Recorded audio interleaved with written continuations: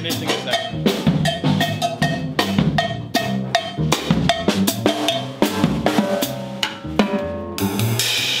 How are you, man? I'm good. Nice to see you. Thank you.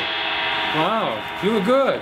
One cymbal rule. The beautiful thing about the trio is if Chick wants to do something different or change directions as to what the arrangement is, we can sort of do it on the spot without a lot of drama.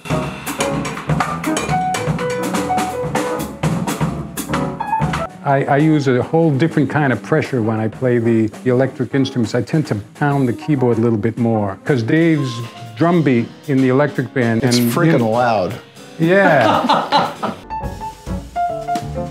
we have to reverse that whole thing to, for the trio. It's a big challenge, but I love it because it, it makes me revamp what I play and figure out how to play energetically and, and convey what I want to convey at a, at a lesser volume.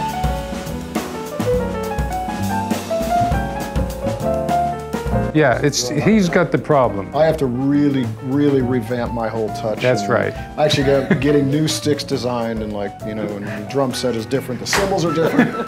Thanks, guys. Love you. Love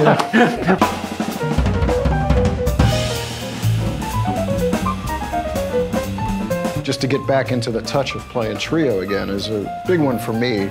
With this group and these guys, it's like, for me, it's like sitting in an old rocking chair. We, we just kind of just play and it happens.